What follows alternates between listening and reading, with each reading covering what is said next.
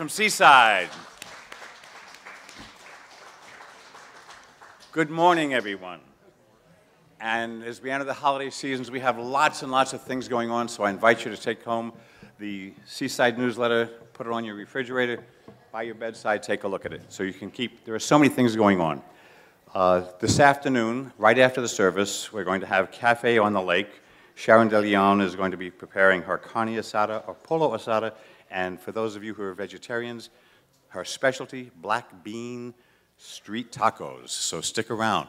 And then after you've eaten that, you'll have energy to attend a event that's occurring at 1 o'clock, and that's the drum circle. You don't need to have a drum to come. You don't have to have any rhythm to come. All you have to have is a want to have a lot of noise and have a good time. They clear out the sanctuary here, and sometimes we get as many 75 people up here on the drum circle. If you thought about it, come and do it. Yes? I apologize. Probably the most, most, the most important part of my job, and I blew it, I apologize. Holding the light for us this morning is Master Practitioner Kay Samuelson. Kay is one of 50 practitioners that the church has, and they're here for you. So if you want to talk to a practitioner after the service, go back to the corner to the prayer circle. And if you come before the service, we also have a practitioner in the prayer room on the entrance over here. Use the practitioners, they're here for you.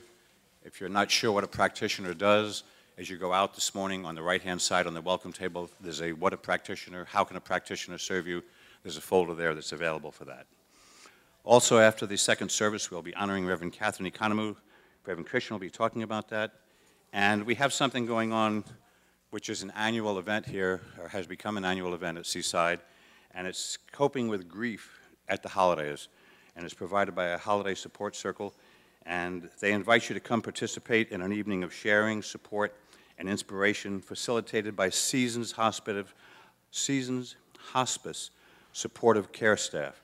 So come and enjoy music, learn how to deal with your grief during the holidays, invite your friends, family, if you've lost someone, and you're going to be experiencing that pain, come, let, let them relieve that grief a little bit. Also on, on Sunday, December 8th, Reverend Laurie, our newly ordained minister, Reverend Laurie, will be offering a workshop on self-acceptance called Love, Acceptance, and You. In this workshop, you will create a plan to dissolve self-judgment about yourself, learn to love yourself, and shift into self-acceptance. How many of you have bought a cookbook, just out of curiosity? About half. Great. Wonderful. Well, my goodness. It's the cookbook girls. For those of you who don't recognize these folks, they're two of the many people who put the cookbook together. There were over 350 recipes in the cookbook, and you can get a sample of three of them after the service. Go out, check it out, and I don't know whether you noticed the second cookbook. It's already Christmas wrapped. Buy them, buy five, get the sixth one free. So it's a wonderful opportunity, a wonderful thing to help the church and give gift. Laurie Sheets of Acceptance Family Ministry, Parents Night Out. How many of you out here are parents and wish you had one night out where you could just go shopping or get away or get away from the kids? One, two, three. Sharon, Sharon wants 50 nights so she can get away. Well, well, what's going to happen in the family ministry uh, is going to take care of your children. So teams and advisors on November 15th, which is this next coming Friday, will provide a parents' night out. So bring your children, ages 2 to 10, to the sanctuary, or to Cardiff North, which is the building up above, from 6 to 10 and go out and have fun. Go shopping, have a party, just get away from the kids for a night. And uh, the love offering, they're asking for a $20 per child, with the funds going to the teen camp. If you have any questions, once again, see Reverend Laurie. Reverend Laurie does a whole lot of things here. And also, family ministry in the family room. In the family room. In the family room, we have lots and lots of tables, the education table. There's a sign up for the Interfaith Shelter volunteer for that. If you're not familiar with what that is, please read it. And uh, Gifts of the Heart, the folders that you see up here are available. And Chili Cook-Off is coming up. I can't talk too much about the chili cook-off, but I want to know that I'm going to be preparing my special bluefin tuna chili. you, you laugh, you laugh, but it'll make you cry when you have that bluefin chili tuna. All right. And, that's, and, that, and that chili cook-off is all part, we got Toys for Tots out there, a lot of things going on out there. So that chili cook-off is all part of the, of the Harvest Festival. The Here they come, folks, the Harvest Festival, boys and girls, mom pa.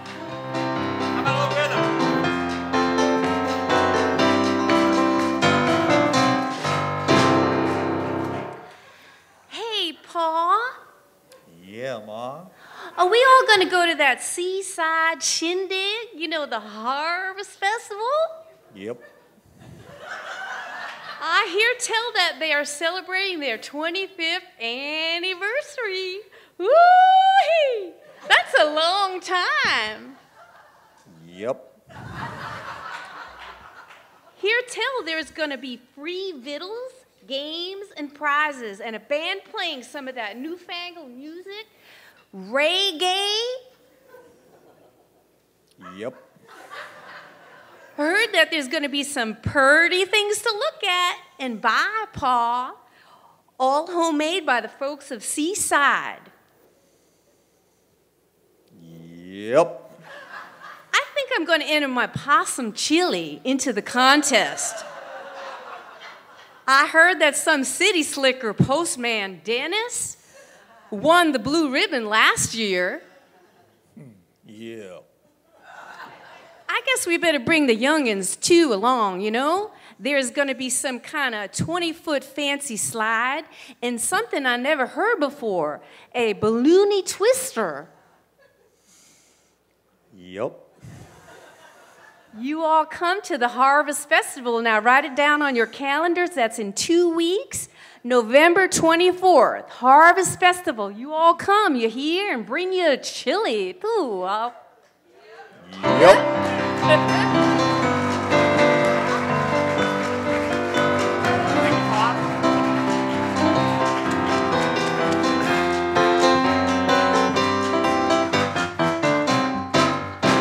Now, I know it's going to be hard choosing between the possum chili and the bluefin tuna chili, but while you're thinking about that, I invite you to stand up and say hello to someone around you. And then stay standing for our congregational song.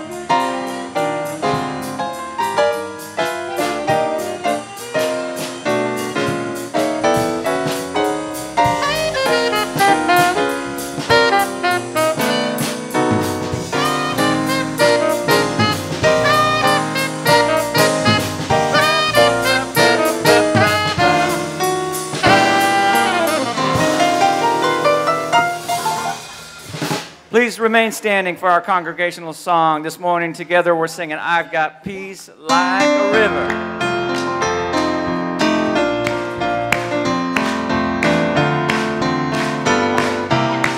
Here we go. I got peace like a river. I got peace like a river. I got peace like a river in my soul.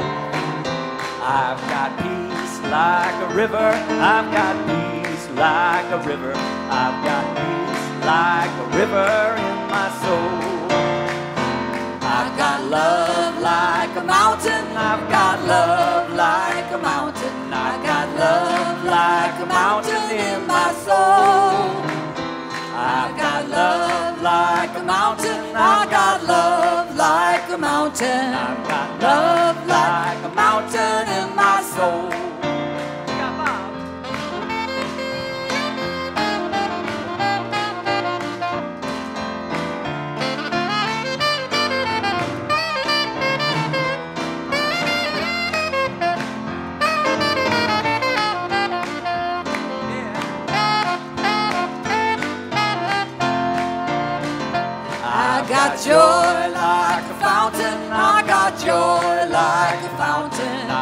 Joy like a fountain in my soul.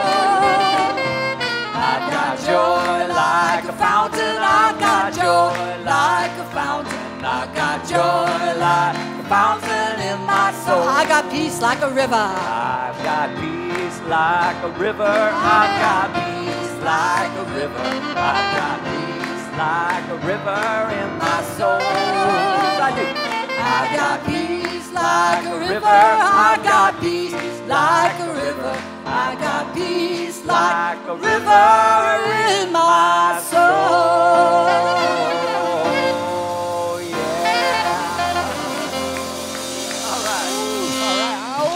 Me want to howl. Ow. hey, good morning, Seaside. What a joy it is to be with you today on this blazing bright day. Oh my goodness, yellow is the color for the day. And um, as you know, we have been going through our prosperity principles. And so every time we see yellow this week, it is to remind us of what you're about to hear. You don't know it yet, so it's kind of like deja vu in reverse or something like that. But every time you see yellow, you'll be reminded of how important it is to let go of the dead stuff in your life that's not serving you anymore. And so on the inside of your Sunday program, you'll find the golden heart. And you have the poster. If you don't have a poster, pick a poster up and you take it home. And what you do is you go ahead and you participate along with all of us. You put it right wherever you want on your uh, poster, and you've got the yellow. And so every time you see yellow, you will think about the wonderful principle we'll be talking about today. Got it? How that works. I just saw these beautiful flowers. I want to say thank you to the O'Donnell and Marcina families in loving memory of their grandpa, um, uh, Tedwell Weeks Jr., for he'll always be in their heart and soul. And so thank you for the yellow. The yellow seems to be everywhere around here today. It is a bright color. The sun always shines at Seaside, that's for sure. Hey, got another gift for you. It's on the inside of your Sunday program. I'm pointing it out because I don't want you to miss it. It's a bookmark. So I'd love for you to put this in the books that you're reading so every time you see it, you'll realize there's gifts that are coming from my heart. There's gifts coming from the heart of Seaside that you're in that wonderful place. And what you'll find is it's not a corn chip, it is a yellow golden heart filled with poppy seeds. And you are to plant that in your garden. And as the flowers come forward, you will just be reminded of the good that is growing in your life, the love that Seaside has for you that is growing in your life, the spirit in your life. So, a lot of goods going on here at Seaside, that is for sure. And um, I know Candace uh, is going to pray us in in a moment, but today's also um, a celebration of Veterans Day. And I, I always like to just honor the veterans, you know, for a moment because they give me the opportunity to do what it is I do. And there's a story that I'm reminded about a guy who got on a plane to fly back east. And um, at the last minute, there were 10 soldiers that came on and sat all around him. So he struck up a conversation. They said they were heading to uh, Petawawa uh, for two weeks of training and then off to Afghanistan. It just, wow, you know, that just, you know, hit his heart. And flying about an hour, the flight attendant came on and said, you know, sack lunches are available for $7. If you'd like one, you know, let me know. And so, you know, he's getting his seven bucks out, and he heard one of the soldiers saying to his buddy, Hey, you to get a sack lunch? And the other guy says, Nah, I don't know. I, $7, I don't think a sack lunch is worth $7. Yeah, I think I'm to wait till we get there. So the guy noticed none of the soldiers was buying a sack lunch. And so what he did is he got up and went back to the flight attendant, pulled out a 50 and a 20, gave it to her, and said, Would you get 10 sack lunches for all the soldiers? And she just took his arm and started crying, said, my son was a soldier in Afghanistan. It feels like you've bought a lunch for him. And he felt, yeah, that was just, that was good. So she grabbed the 10, 10 uh, probably boxes, but sacks, and she passed them out to the, to the soldiers. And she said to the guy, do you, do you prefer beef or chicken? And he, he said, well, chicken. Why do you ask? And she went up to first class, and she came back from behind the curtain with a china plate and gave it to the guy and said, here you go, thank you. So when he was done eating, you know, he got up to go to the bathroom. One of the guys in the, behind him said, I saw what you did. I want to participate. Here's $25. And then a little while later, he went to stretch his legs. He went up to the front of the plane. As he was stretching six rows up, another guy said, hey, I heard what you did. Here's a few more dollars. It was another $25. He sat down and said, This is, you know, and he noticed here comes the captain walking down the aisle. And here comes the captain and looking at the number and said, are you the one who just took care of the guys on uh, the plane? He said, Yeah. So I want to shake your hand. I was in the military, I was a military pilot, and somebody bought me a lunch once, and it's a memory that will always live with me, and I want to thank you for reaching out like that. And the place blew up in applause. The guy's totally embarrassed, did not do it for that reason. So when he got off the plane, he was just ready to go. And there was a guy waiting at the end of the gangplank, slipped something into his pocket, and walked away. And when he pulled out, it was another $50 bill. So now the guy had $100. And so he saw the soldiers over there, those 10, he took it over and said, You know what? Here's a 100 bucks. Why don't you guys buy yourself a lunch on the way uh, to the base? And walked away, said, All I could really do was do a prayer for those guys, maybe buy them a couple lunches. And so the story warms my heart. I just want to ask anybody who served our country in the military if you would stand this day, Veterans Day, so we could just say thank you. Let you know we love you, we appreciate you, and know that our heart is just very grateful to the men and the women who have um, served our country. I am, I am just blessed by your presence. These are the ones that wrote a check made out to the United States of America for the amount of up to and including their life. Thank you very much for that. And to take us a little deeper in appreciation and love is the wonderful master practitioner, Candace Young Schultz. Please join me in a moment of stillness.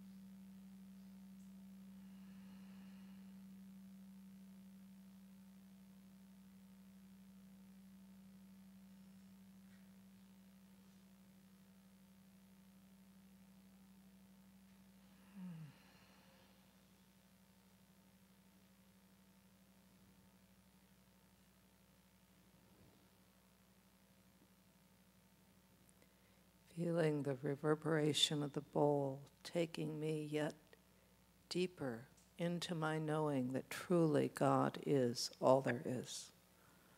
God is right here, right now, in this experience, in each and every one of us here. And I know that Seaside is a perfect expression of God of the healing, loving, empowering energy, which is God. And I know and affirm that this service this morning is one filled with joy, one filled with enthusiasm, one in which the music by our wonderful band and our guest artist, Michael Paul, touches us. The words of Reverend Dr. Christian are words we need to hear words that open our hearts yet more fully, words that shift our perspective. And the words that Laurie will speak are ones that open our hearts to yet more of the wholeness and love that each and every one of us is. And knowing that, and knowing that this is a day of profound, delightful celebration. I take a deep breath and I say, and so it is.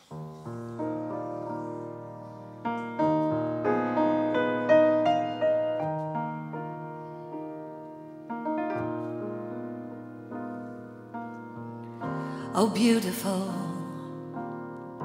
for spacious skies, for amber waves of grain,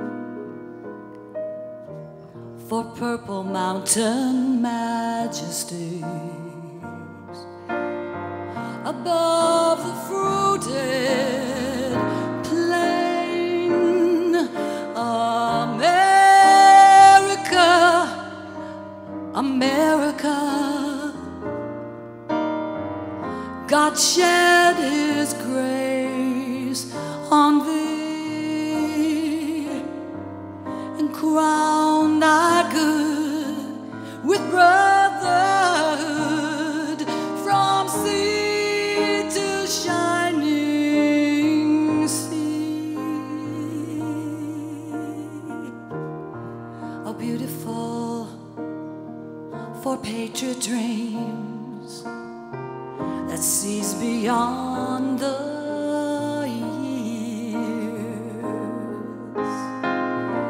Thine alabaster cities gleam, undimmed by human tears.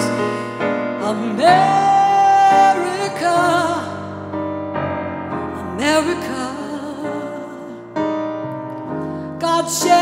grace on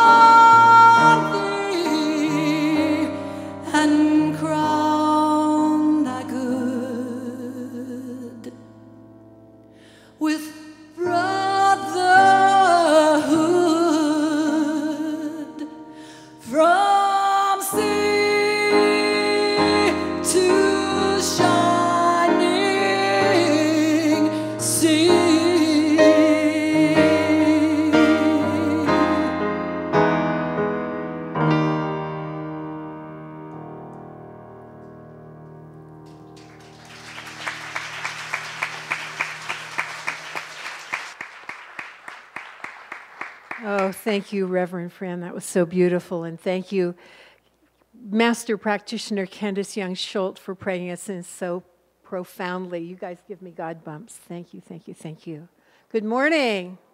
I'm Reverend Christina Tillotson, and I get to welcome you if you're new to Seaside and this philosophy, this faith, and this way of life. Thank you so much for sharing your light with us this morning. We invite you to get a packet on your way out. It's our gift to you with some coupons for the bookstore and in a way to get involved in this amazing community because here at Seaside we're about community. We're about supporting each other through our challenges and our celebrations. And because the holidays are coming up, you are invited to celebrate Thanksgiving Day with us here at Seaside. I do a service at noon, and then we have a, a potluck dinner at 1, not only for our Seaside family, but for lots of people in the community that don't have a place to go or can't bring a dish. So if you know someone like that, please pick up a flyer at the, at the, at the table in the back and please spread the word. We're also doing it again on Christmas Day, a, a dinner at Christmas Day. So this is a way to celebrate the holidays here at Seaside with all of us. So thank you for being part of, it, of that. Here at Seaside, we're also about personal transformation. We transform the world and we transform individual lives. And to talk about that, I invite the amazing Lori Gertz to come up and tell us her story.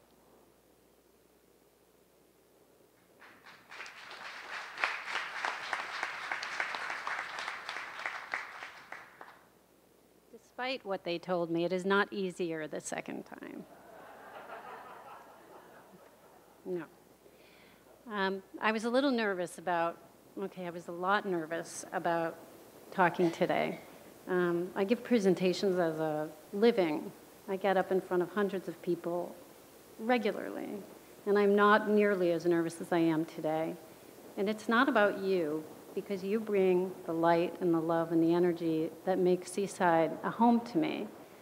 And it's not about our leaders who bring the inspiration or the tools of the teaching, the philosophy that have changed my life, that have helped me to, uh, to realize the expressions of God in my life as I know it to be the truth. But I'm nervous because it's personal. And I know everybody in here has a personal story that they can probably relate to. So this is my truth. And in this, I hope that you find a truth of your own. Through Seaside, I have found a level of self forgiveness that I never thought was possible, and an understanding of why we go through the journeys that we do. So here goes. Three years ago, my husband and I moved to the area. Sorry for the notes. We moved here to start over with our family. Some of you may know from knowing me because I've really reached out to a lot of people in this community, as have you reached out to me. Some of you may know my family as having two children, but up until 2010, I had three children. We moved to Encinitas to change the scenery a little bit because we lost a child in a pretty unconventional way. For about seven years, I had been parenting a child of another's womb, but I couldn't break through to her. And I felt a tremendous amount of regret, and I felt like a failure as a parent, as a mother. And having to go through that, making a choice and deciding that it was God's intention and, and the best choice to place her in another family was really a tough one, one I was really struggling with. Our loss and grief wasn't conventional at all. Our family had been a really complicated mess for a while. And so the community that we lived in for those seven years never embraced us, avoided us, in fact. And when it came time for the decision, the clergy didn't even return phone calls. No emails, nothing. There was no support at all. There was too much stigma. Like I said, it was just way too complicated. So we moved without any expectations other than to start over sort of anonymously. We loved and lost a child just wanted to be somewhere where our family drama didn't define us. So I walked into this place one day. I'm really not sure what brought me here, but something did. And I found myself weeping in that seat that I have sat in every single week since then. And I couldn't figure it out. It was beautiful, it was loving, it was kind, it was welcoming. And I was weeping, bawling like a baby every single week. I really, it really bugged me. Why? This is so great. This is the best thing that's ever happened to me. Why am I so seemingly unhappy. So after about two months, I called Reverend Christian and I asked if we could meet. I had sort of been threatening to tell him my story for a while. And after I sat down with him and I painstakingly explained what happened to us and what a miserable mother I was, and what a miserable mother everyone in the country thought that I was, and how much shame and regret I had about the decisions that I had to make about my daughter and about myself as a failure of a mother. Having to let go of a child that I loved so deeply but couldn't reach. He sat back in his chair. I guess I'd stunned him. Um, he took a deep breath and then he leaned in towards me. And I expected the norm. But of course, he surprised me. He said, Well, that's quite a story. And he went on, but it was kind of like the teacher on Charlie Brown because I was in shock at the fact that he didn't judge me. It was quite a story. I had this realization just as he said it. Nobody had said that to me before. But it was a story I wasn't living anymore. The words spoken here on Sundays and every other time I walk into this very sacred space our motivations to change the channel, let the leaves fall, what, you know, whatever the metaphor of the day is. In time, Reverend Christian invited me to join Foundations, which has been an extraordinary learning experience for me. And I have 20 people in my extended family in that class. A lot of them are here, or they were at the first service. And I love them, and I hold them in my prayers every day. On week eight of the class, because we're going into week nine, there are 10 weeks, right there on page 302 in Ernest Holmes' Science of the Mind, which frightens people that I brought this huge book. Page 302, I'm going to read you just this one tiny little thing. See, I'm still shaking. Cookie. There are no failures in the universe. Spirit never fails. Holy cow. 302, everybody. 10 weeks, foundations. This community has welcomed me and our family with a loving kindness that I know only from books and from dreams. In the teachings, I've realized that I can forgive myself. I've realized that my parenting successes and the beautiful relationships that I have with my other two children and in the loving kindness of everyone here at Seaside. Coming to Seaside has given me the tools and inspiration to transform my life, and my gratitude for this space is overwhelming. Thank you.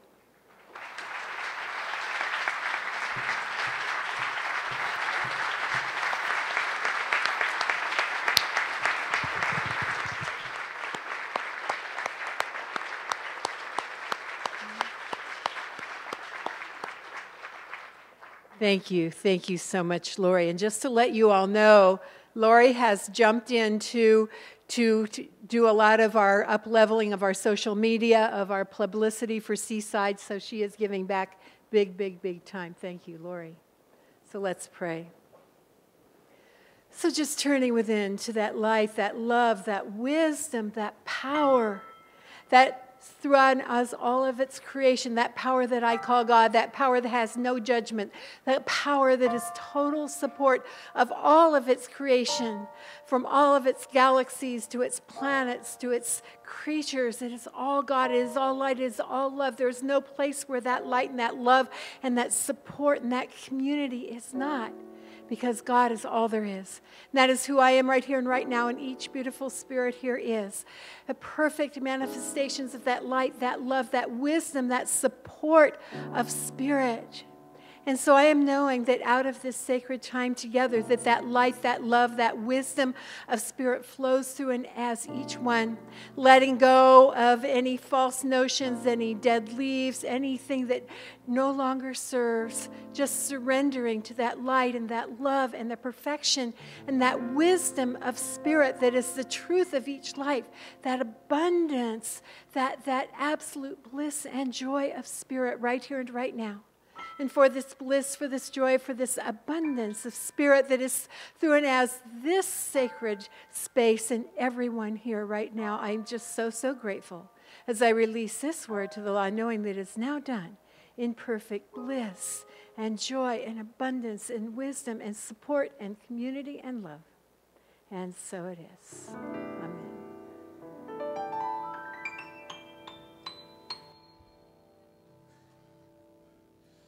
Good, mor- good morning. How are you, everybody? Wow. I just feel sort of wow, don't you? Sort of wow. Wow. Um, I forgot to say this the first service, and I realize if I don't tell you today that um, with the ongoing events that I might not get it in. On December 6th, mark your calendar, we have a fabulous jazz concert. Um, Joe Garrison and Night People, La Nouveau, a Society of Friends, December 6th, Friday night 7.30. Lynn Willard has been a part of the 14-man ensemble, men and women. I want to encourage you to buy your ticket at the door. I am very proud of this group. Carl and I have listened to their CD, and I have to tell you, it's marvelous. It's simply marvelous. So please uh, mark it on your calendar. Now, Michael Paul Smith is here. Would you please put your arms out and your hands together and welcome Mr. Michael Paul Smith.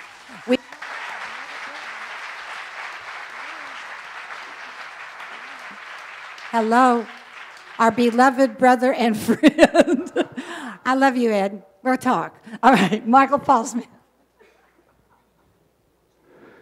Good morning, Seaside. Woo! Well, you know, one day I was out walking in the universe. And as I beheld the wonders of the stars and the moon and the sky, Spirit whispered this to me.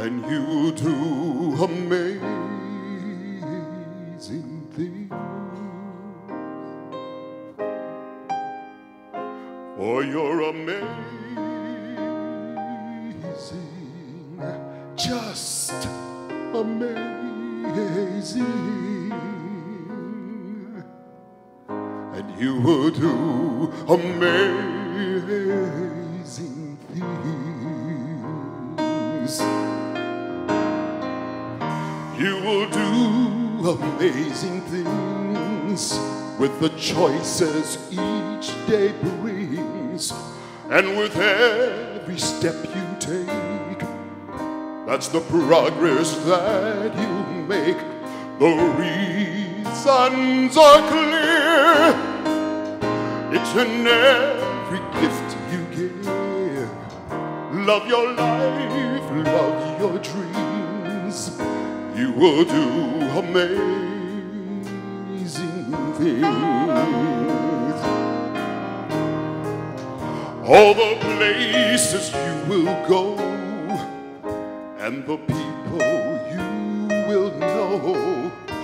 worry when, where, or how, cause you don't need to know that now. You're on the right track. No need to look ahead nor back. Just enjoy what this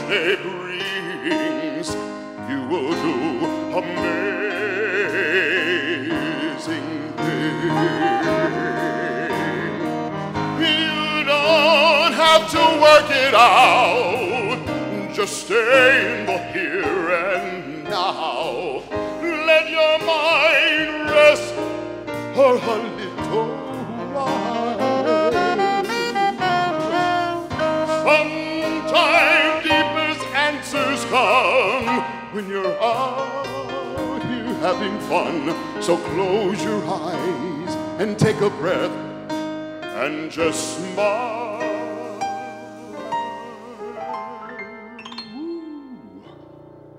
Cause you're amazing.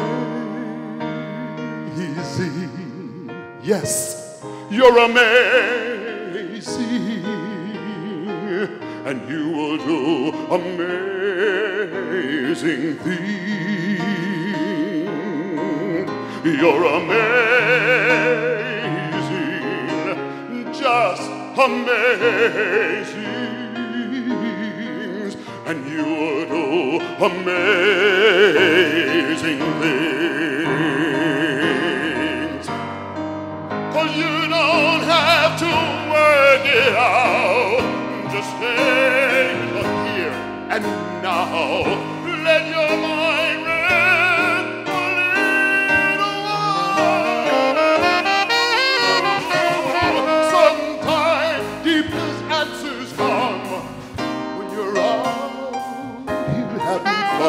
So close your eyes, take a breath, and just smile.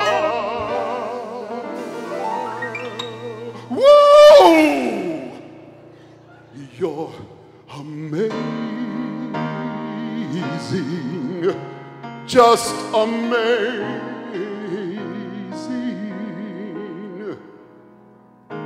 And you will do amazing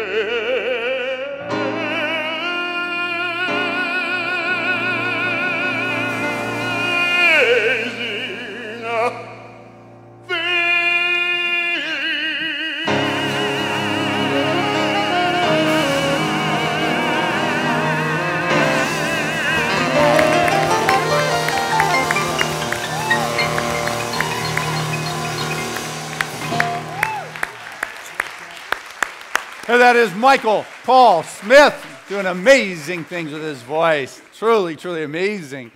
Woo! All right, I can do that too. Woo! amazing. Hey, uh, hey, this morning's message is Dead Trees Don't Lose Their Leaves. When I first saw that, I said, what was I thinking with that title? That is a, a strange one. But then I read it. It's like it was quite brilliant uh, re- uh, writing for the day. I'm, I'm, I'm sure you have read it already.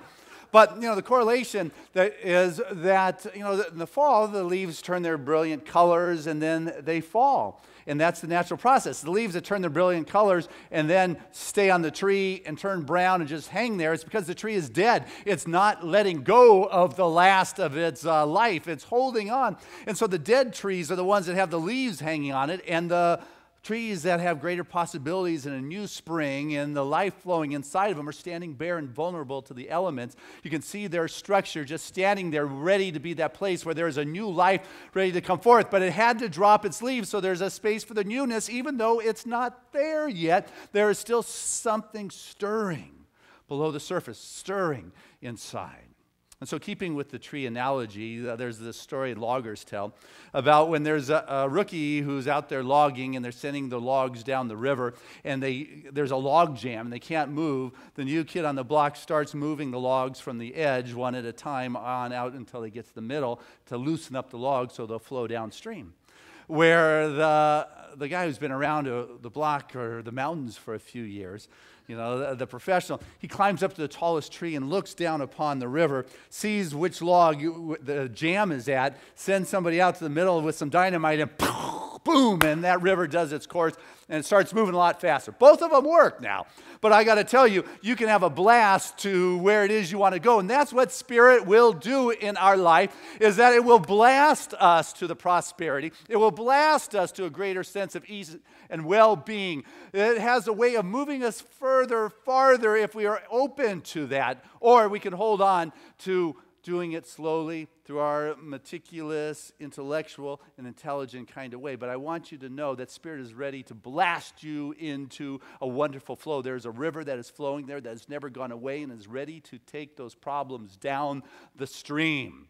And so it's up to you to listen to that. It's up to you to feel that because I'll tell you what, um, that spirit is there. And what happens so often is people have the log jam in their life. They have places where they're stuck. They say, This is permanent. This is what the doctor said that I will never walk again, or it will take this long to get healed, or my uh, employment is such that I can never move up higher, or uh, I have this difficulty in a relationship that I can't get out because it supports me. And I listen to their uh, evidence of why they are stuck in this permanent situation. And I want you you get, that Spirit will come and blast you to a new level of being. That the prosperity can show up in your life beyond your salary, beyond how you know it can be done if you are open to that. But you got to stop holding on to the dead leaves, the old ways, the old beliefs, and create the room for Spirit to show up in your life. Because, yeah, eh, because it's stirring there, it's moving there. The possibilities are there, and I listen to people moving the log slowly from the edge. If I could just make it, you know, if I could just pay the bills, if I could just survive, if I can just make ends meet. Well, I'll tell you what the scripture says is that Spirit puts a river in the desert. It brings a stream to where it's barren. What are you looking for here? I'll assure you the economy in heaven's doing okay. And you can be part of that economy of the divine, that abundance. You can be blasted to that greater expression. You don't have to get stuck and have to figure out how it's going to happen. I want you to know that there is greater good that is coming your way. It is spirit that knows where the, the, the good is hidden. It knows the good deals that have yet to express itself. It knows where the, the contracts lie. It knows where the right investments are. It knows where the inheritance is. Spirit knows how to blast you to a greater way, but you've got to be willing to allow that river to flow beneath you and and carry you forward because there is something that is coming to you. And when I say something's coming to you, people say, Oh, yeah, I don't need any more the challenges, the difficulties, the restraints. I don't need any more bad times coming to me. Hold it back. Well, I could agree with them, but then it would only make both of us wrong. You know, there is a wisdom and there is an intelligence. And, you know, there is a difference between the knowledge, this is the human condition, and a wisdom of the spiritual condition. Someone once shared with me the difference between um, the, knowledge and wisdom is knowledge is that tomatoes are a fruit And wisdom is you don't put it in your fruit salad. You know, It- it's kind of how it works. Are you open to the wisdom? And as wisdom begins to bring new awareness, new revelations come. Someone shared with me once, a Christian, I realized that I wasn't looking for a career, I was just looking for paychecks. And I go, oh, wow, okay. Well, you got to realize money doesn't bring you happiness. And what they sh- shared is no, but it sure makes uh, misery a lot easier to live with. what are you looking at? What are you holding on to? What is it you are perceiving in your life? How are you and what are you open to having show up in your world? Are you open to what's coming towards you? Then that's something that's coming to you. It could be greater good. It could be new ideas. It could be revelations. It could be a blast, and all of a sudden your mortgage is paid off. Blast! And all of a sudden there is a prospering revenue stream in your life you had no idea. Boom! A blast because there is this higher perspective that God has that says, you know, that log jam can be gone. You can walk again. You can be healed. You can be uh, divine expression. You can stand up confidently and proclaim what it is you came here in this world. And whatever those blocks have been and now dissolve into the nothingness if you are open to what is coming towards you. Because God knows where that good is buried, it knows where the good deals are. You've got to be open and receptive to that. And as you are, what begins to happen is that shows up. But we get sidetracked too often in our life. There's a story, I'm sticking with the garden stuff, of a guy who just loved his, his garden and his farm. He took care of this land, he nurtured it, he bought the organic seeds, he turned the crops, he planted his orchard, he tilled the soil. And one day he was out there plowing, saw a sparkle, and he reached over and he picked it up and realized it was a diamond. He held it in his hand and poof into smoke. And what stood before him was this goddess who said, you have taken such good care of this land. You have loved this land so much that we want to reveal to you the treasures that are hidden on your land that no one has ever known. He said, Wow, that's exciting. She said, The treasures, it's gold, it's precious metals, it is jewels, it is gems, it, it is diamond. And you will find the first pot of these treasures in the first apple tree you planted in your orchard at sunset. You take that home, you set it in your house, and it will reveal to you where the rest of the treasures of your land is. But there's only one catch.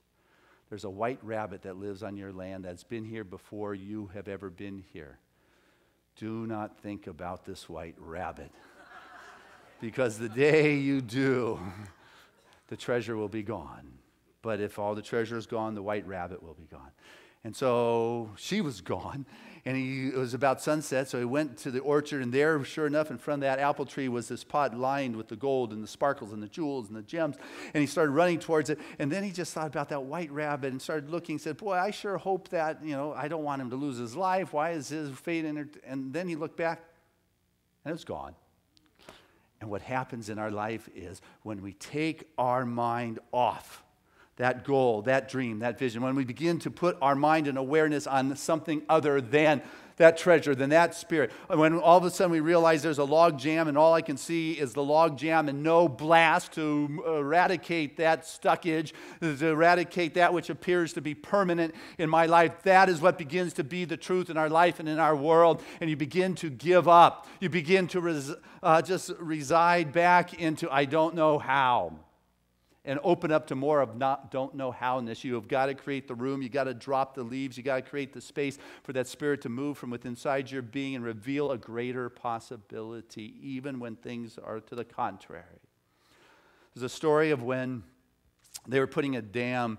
Uh, this is a long time ago in Maine, and they contacted all the people on, on the valley floor because they were going to put this dam across the river and it was going to back up into the valley. They told all the residents there that they were putting in a dam that they'd have a few years before it was complete, and the water backed up, but they needed to find other places to live, and they would assist. Was interesting, the next day, people stopped taking care of their houses. Things that broke, they left broken the sidewalks that started to have cracks started to have weeds growing through that. And all of a sudden, that town began to die that day when they said there was no longer any future. And one of the townsfolk said something very wise. He said, As soon as the faith in the future is gone, we lost the power of the present. Got that? As soon as we lose the faith in the future, we lose the power of the present moment. And so when people come up against tough times, they get into woe is me, I feel sorry for myself, and they continue to struggle. But the masterful manifestors in their life, the ones who practice the prosperity principles, begin to take a look at that dynamic of that challenge and say, okay, what is it I can learn from here? What is it I need to know? And they go out and build themselves a new house, but not this time, not in a valley, but on a mountaintop where they can look out and have a broader view and see in a higher, from a higher place like God sees in their life. This is what the challenges will do is they will elevate one to a greater perspective and know that God is so present even in the ch- most challenging of times. Hmm. Norman Vincent Peale, power positive thinking guy, he said that God will often send gifts wrapped in problems. You get to unwrap them. You get to take a look, find out what it is that is here. You know, there's an old cliche that winners never quit and quitters never win. So, what I want us to be aware is there's something that is seeking to become conscious of itself as you.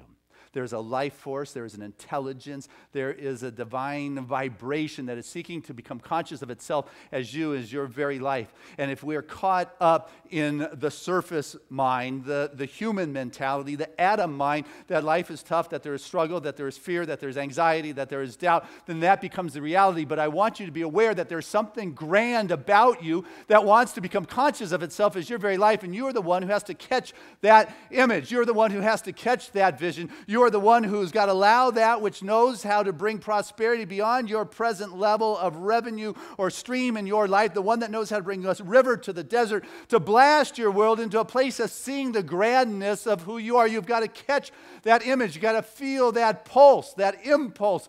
Um, Michael Beckwith calls it a glimpse, a glimpse of the image that is about to, to birth itself as your life, but you have got to give it access. You've got to know that there's something that's capable of having it happen. You've got to step into the tonality of that vibration, that, that vibratory frequency that is able to manifest itself as our very life. You've got to begin to walk in it even before it is manifesting. Rather than walking in the town is dying, I'm walking in there is something stirring in my soul, even if the branches are bare right now. There is a life force that is seeking to blossom and birth itself, and faith is walking in that with a deep knowing that it is possible. It is putting the attitude in that kind of direction and not giving your power to elsewhere because where you put your attitude is where your actions go.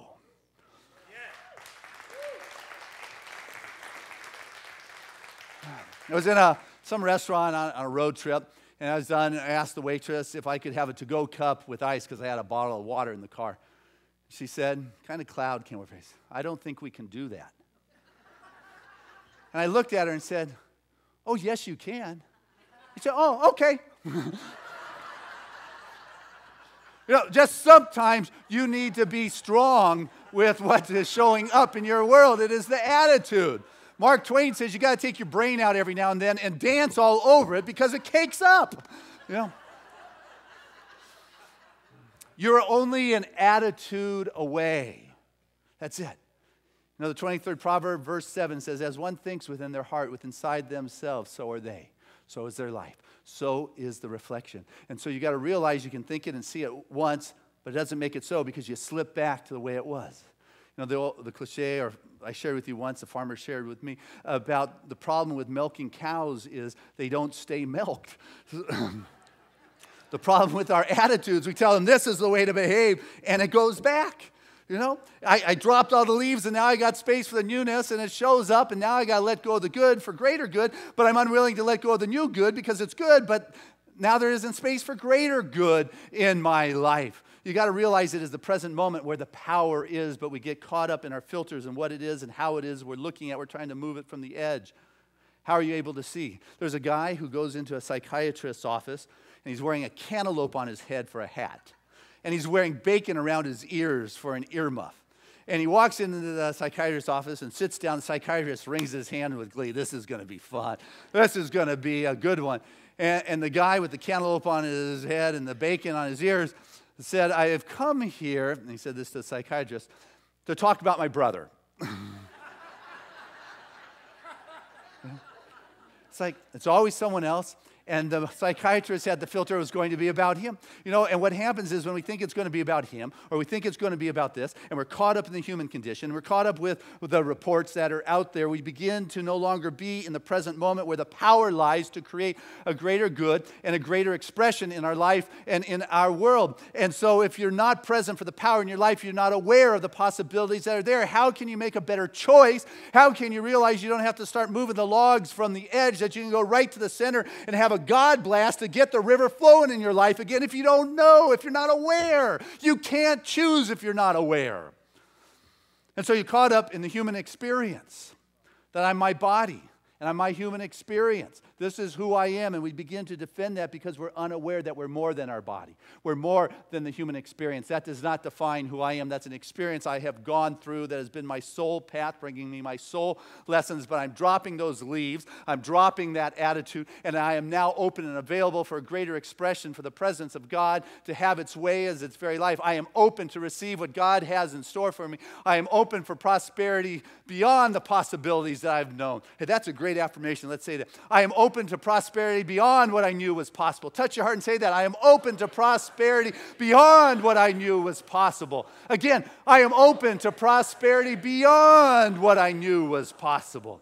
Well, if you truly believe that, then your prayers are not going to be coming from the little mind that is trying to get something to move, but rather it is coming from that grand aspect that is seeking to emerge and become conscious of itself as you, that wants to proclaim, announce, and pronounce to the world the truth of my being. The truth is that I am willing to let go to the joy. I'm willing to let go of the old leaves and let go of that which has constrained me. I'm willing to let go of trying to fix it little by little and be open to the blast. I'm willing to let go to the God blast. I'm willing to let go to joy joy. I'm willing to let go to love. I'm willing to let go to the abundance. I'm willing to let go to the prosperity. I'm willing to let go to that intimate relationship. I'm willing to let go to the newness that is seeking to express itself as my very life right now. That's what will happen. And it becomes yours when you're willing to say yes to that. So I got to tell you, what's coming your way is that good? Is that prosperity? Is that love? Is that joy? Is that relationship? And the magic of walking through this life knowing that that river of God is moving through you and becoming conscious of what it is as your life. God bless us. Yes.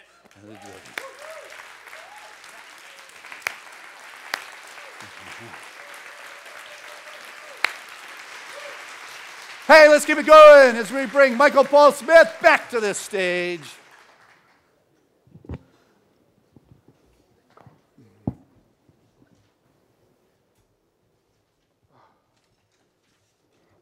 You're amazing, you know that?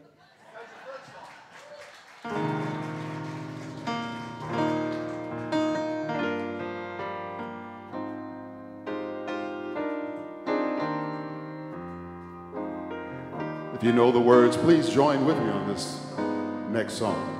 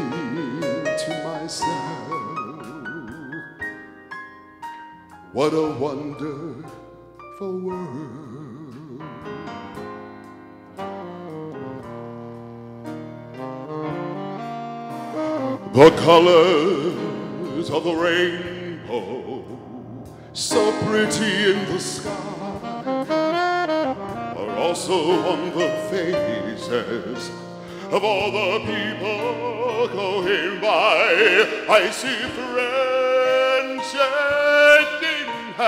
saying, How do you do? They're really saying, I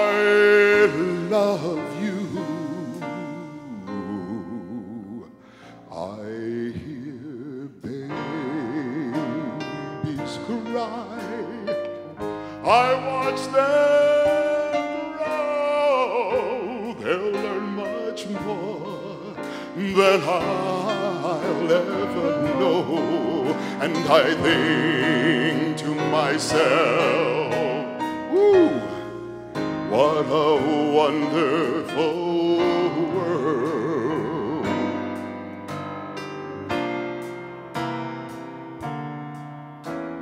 The colors of the rainbow, so pretty in the sky, are also on the faces of the people going by. I see friends shaking and saying, How do you do? They're really saying, Seaside, I love you.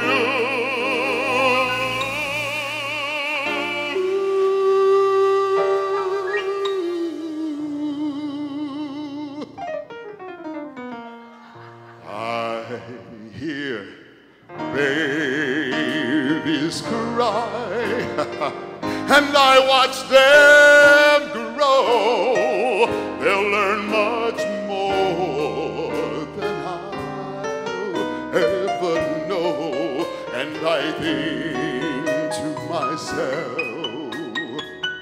Oh, this is a wonderful world.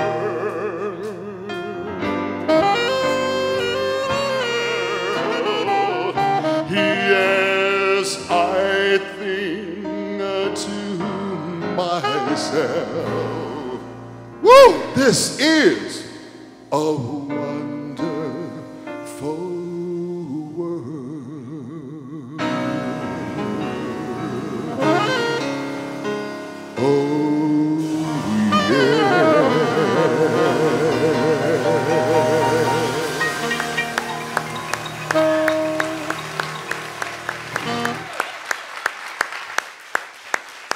Michael Paul Smith reminding us what a wonderful world we live in. Thank you, Michael. All right, well, this is the time of our service where we have the opportunity to share our gift, to share our offering, and know that truly is a seed that is planted, that multiplies and expands within our life and, and within our world. And so I want to invite our ushers to come forward at this time and, and just say thank you to this, this wonderful crew that is consistently there for us, to greet us, to welcome us, to make sure there is a seat for us, and to be that place through which we send forth this wonderful gift. And so I share this prayer of gratitude with the most generous of spiritual communities, knowing truly that the blessings of the divine unfolds its expression right here in this very moment through each and every one. For that infinite stream, that river that can move through the barren deserts, moves right here through each and every one of us, bringing the richness, the freshness, the green, the vitality, life itself. And I know right now that we send forth that which has been within our life, knowing that which is blessed continues to bless. And so feel that sense of peace that comes, that security that comes, that, that calmness that comes with knowing the source is within. That I need no longer hold on to the old leaves or the old ways and just open up to that which continues to merge to bring forth the new growth, the new life, and the joy of being. So, shining that expression of life itself, we go forth in this time, sending this love forward, knowing it continues to bless all those with whom it comes in contact. And so it is. Amen. Together, let's say this affirmation of abundance, which is Spirit continues to bless my world. Gratefully, I live as the giving expression of Spirit, opening the floodgates of the affluent flow of greater good now. Now.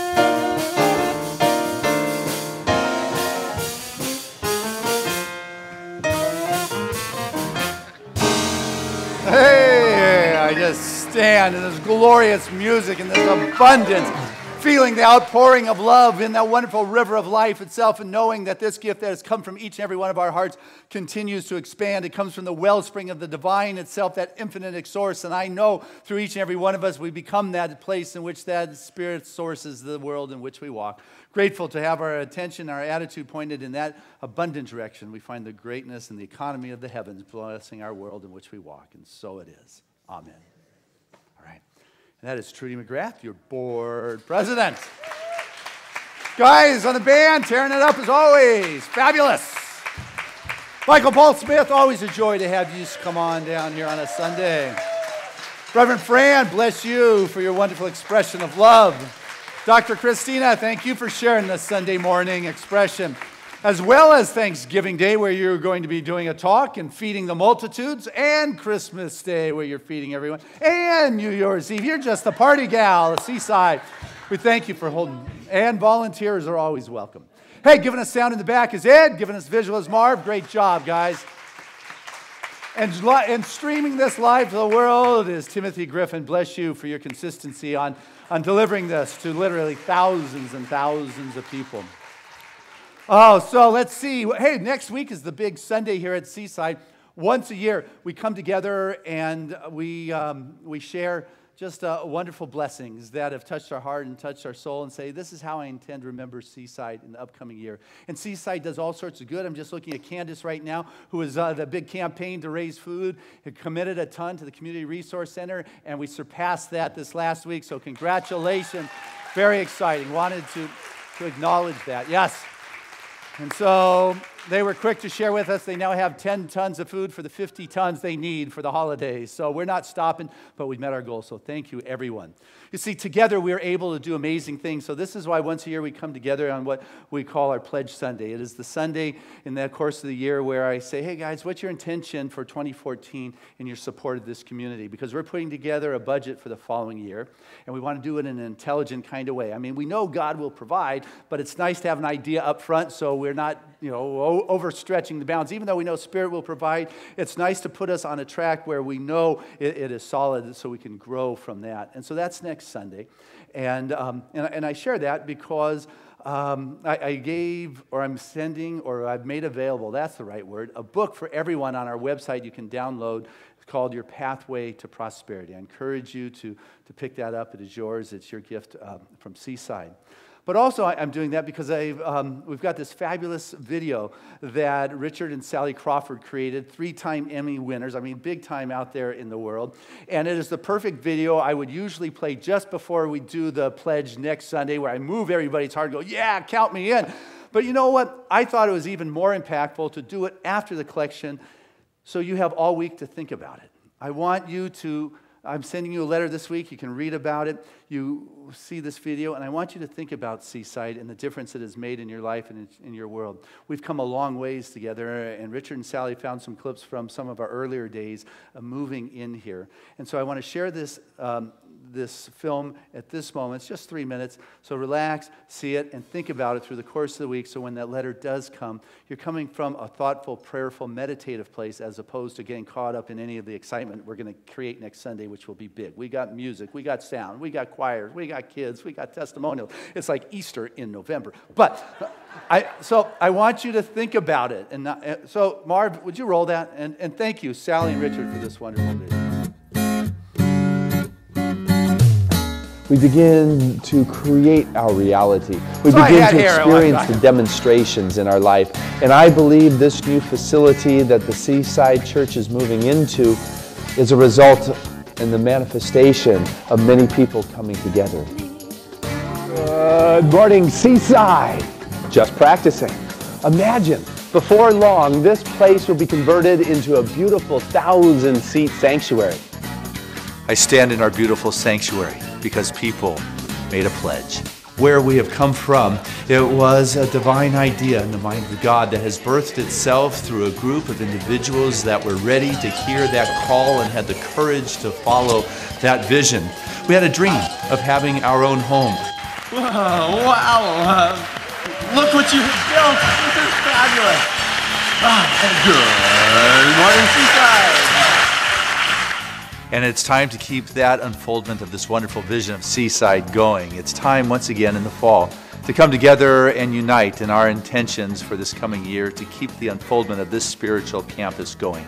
A place where people can feel the presence of God. When they drive up onto this campus, they can hear the children playing. The practitioners are here praying and healing is going on. Lives are being transformed because all of us come together once a year and say, you know what? Count me in. Where we get to look within our heart and listen and see how Spirit has supported its work as our life and what can we do to support Spirit's work in the life of others. Seaside is holding a pledge drive. Seaside receives 100% of its funds from financial contributions from you, our community. It's your word that you'll help make something specific you want to happen over the next year. You get to create the life you love just the way you like it. Basically, your contributions keep these doors open and allows us to fulfill the greater vision, to reveal love, to honor all paths that lead to higher consciousness and to celebrate life. At Seaside, we've created our own clubhouse for playful living. Your contribution goes to Seaside to pay a dedicated staff and who are here to help and guide you on your own spiritual path. To provide this beautiful building that we're in, this awesome music that you hear on Sunday, and the daily requirements to make Seaside the growing, thriving spiritual community that it is. Seaside counts on your generous pledge to provide funding for 2014 to support this growth. You can break up your gifts in weekly, monthly, or yearly amounts. Consider 10% of your yearly budget or, or whatever works for you. So, how do you sign up for this awesome club? How do you pledge? I pledge allegiance to the Well, we're happy you asked. The easiest way is to fill out a pledge card online, or you can put one into the offering basket, you can drop it off into the family room or office, or you can do it as an auto tithe where it's automatically withdrawn and you don't even have to think about it. We hold for you and know that the upcoming year will be full of prosperity, full of freedom, full of growth for both you and Seaside.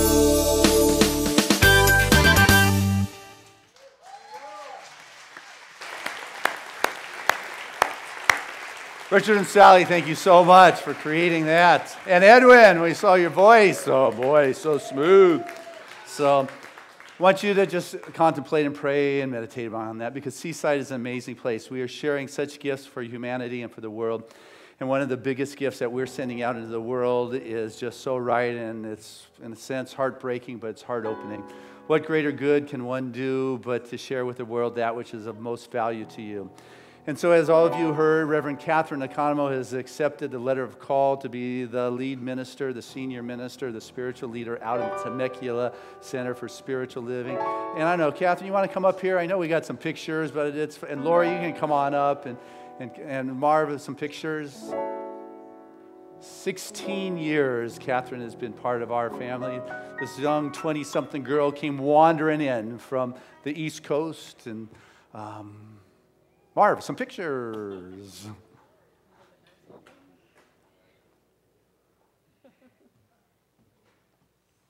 Well, a few things as those pictures get wound up.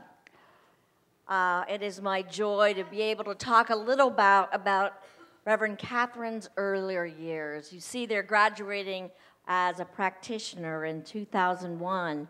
She became the youth director of all of Seaside in 2005. At 2005, that's right, Brendan. Thank you. Yes, good. And graduated from Holmes Institute and became a minister in 2005 as well. Now, this little corner picture up here, that is not me leaning on Catherine because I do not sleep with my mouth open. During her later years, she Yeah. became the dean of Holmes Institute, which we know her well as. That was in 2006. And she served so well there before taking on the Director of Education role here at Seaside. A few fun facts are that the number of ministers that Reverend Catherine has shepherded through our teaching is 71. Wow, that is impressive. She saw their light and pushed and eased them through ministerial school. The number of graduations she's coordinated and has lived to tell about it 18. Wow. 18.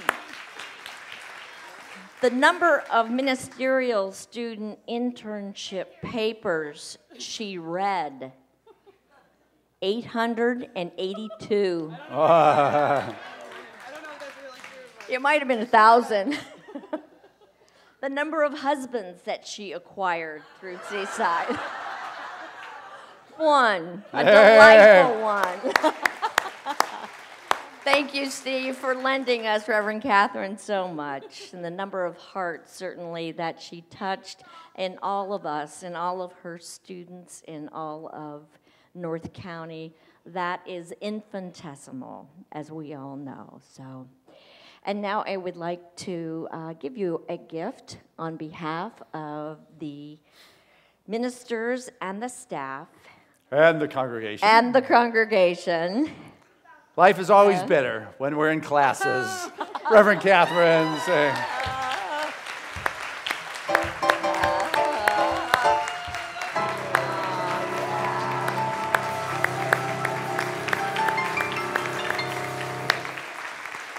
And now I'd like to invite Helen Lipka up from the Board of Directors to present Reverend Catherine. some flowers.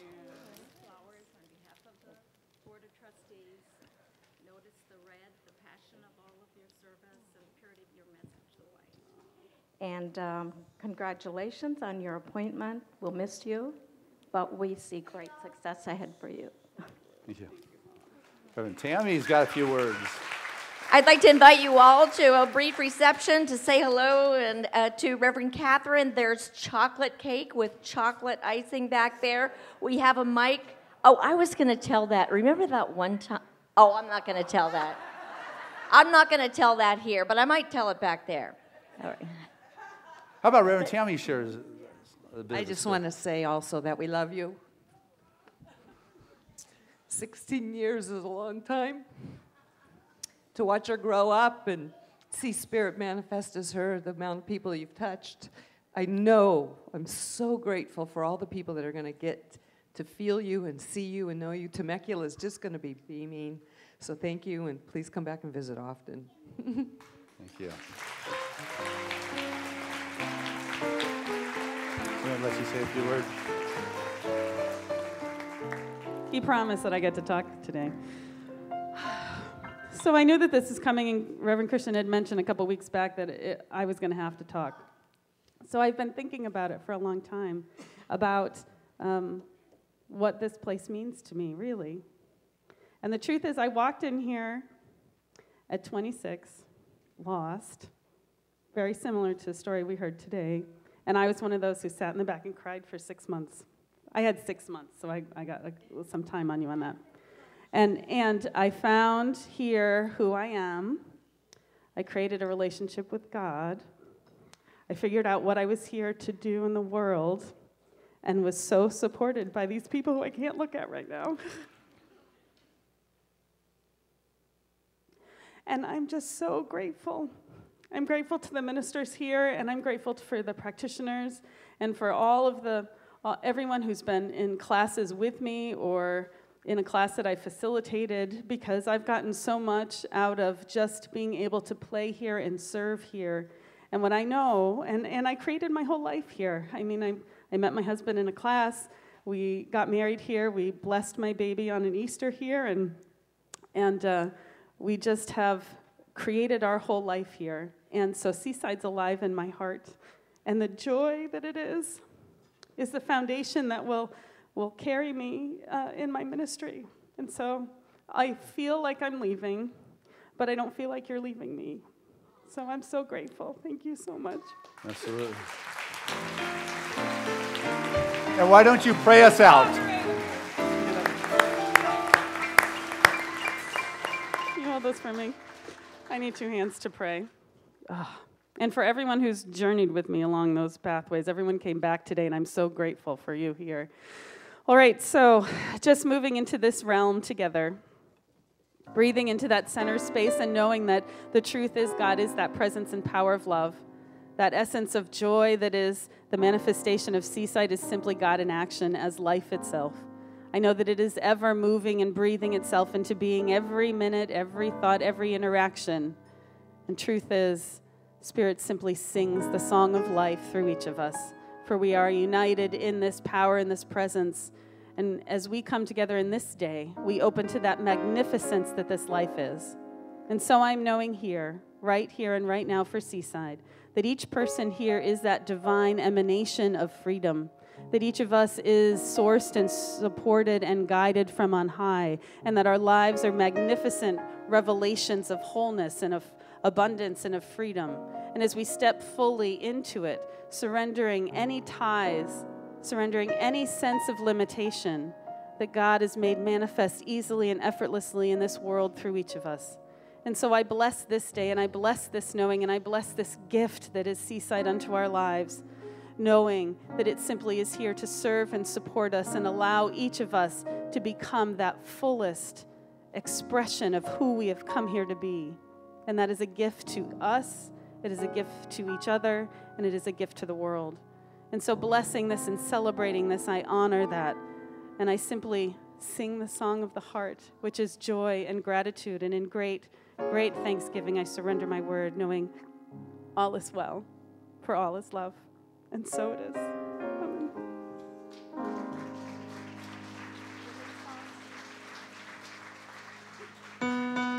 There was a time in my life I thought I had to do it all for myself. I did not know the grace of God was sufficient. I did not know the love of God was at hand. But now I can say, if you are discouraged and trying to make it through just one more day, you gotta let it go, let it all go.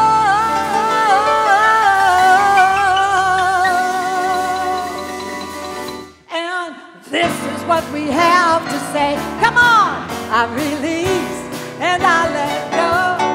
Let the Spirit run my life, and my heart is open wide.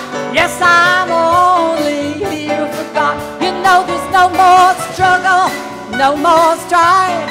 With my faith, I see the light. I am free in the Spirit. Yes, I'm only here for God. You know that I release and I let go.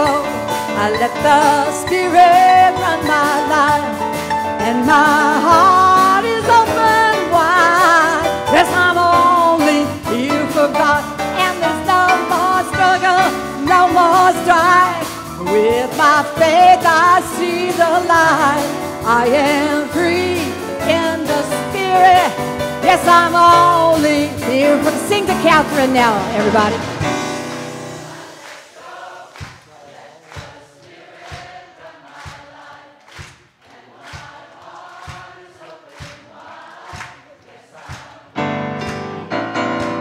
You know there's no more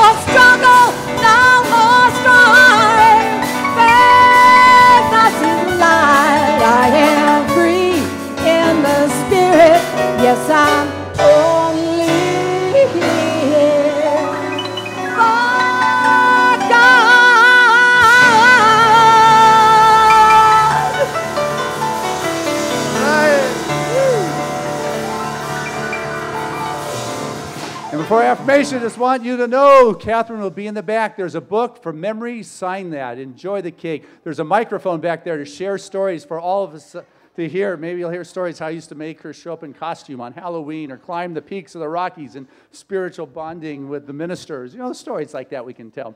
Or the Steve one, or the one Lori. Anyway, hey, let's get there.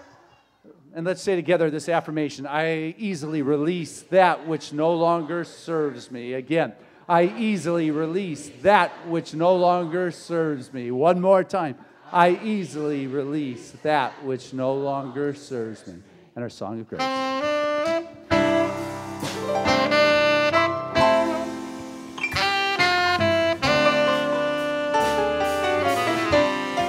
I'm living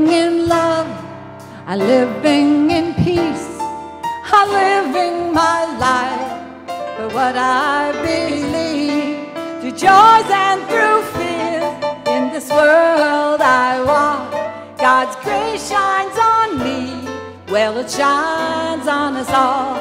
We are living in grace. Mm, we are living in grace.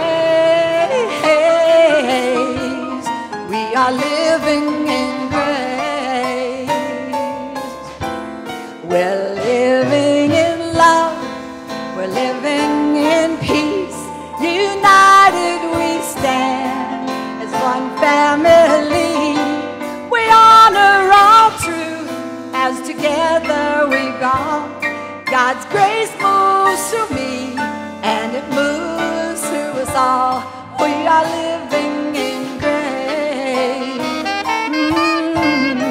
we are living in grace.